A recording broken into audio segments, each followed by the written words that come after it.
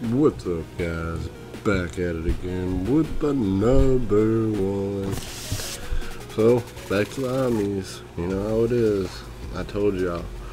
Some stuff you have to buy from Amazon. So let's check out that Amazon shipping. Let's go. Alright guys, we're back at it. Another one. It's your boy KohnHead. I'm a little fucking tired. I've been working like non-stop, but let's do this. So, y'all see it over there. I told you the other day, you watched my video. That. I had to get the other one from Amazon. So, I showed y'all their shipping in stock trades when they ship just a single book, when they ship like eight books. Um, I still got cheap graphic novels. I'm still waiting for them to ship that book. I told you, or my shipment's got four books. But let's see the difference. Remember I told y'all in stock trades they ship it like your book is coming from heaven. All everything's in pillows and shit. Amazon. They just throw it in the box. Nothing. Their shipping sucks. They don't care about the book. And here's the other thing about Amazon. I mean, it came in good condition, besides the fact that I just threw it out the box. But, um,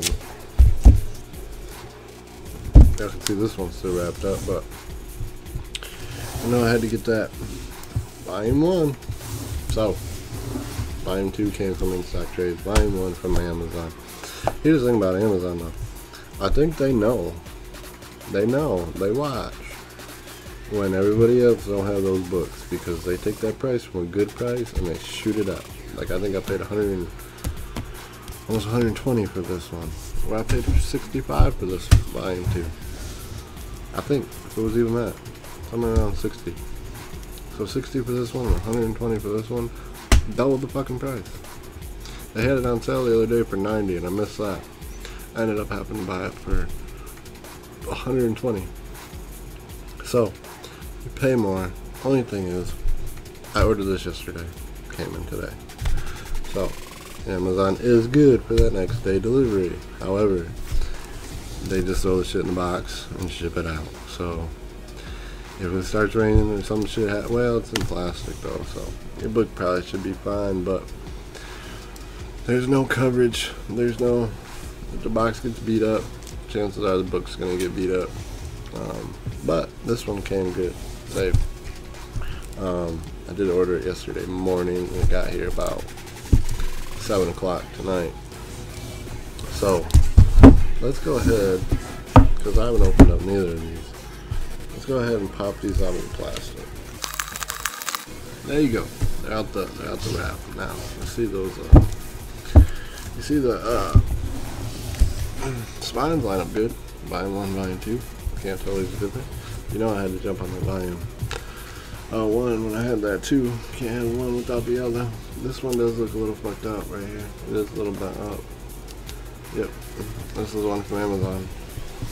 So it's just bent on the dust cover. A little bit.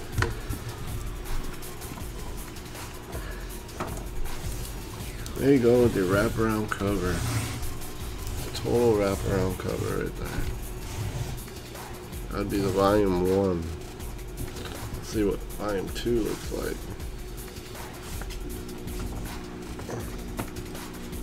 I still get the wraparound cover, but it's more like a um, like the actual comic uh, picture, like you're actually reading it. Uh oh, he said. Uh oh. So let's slide this back on.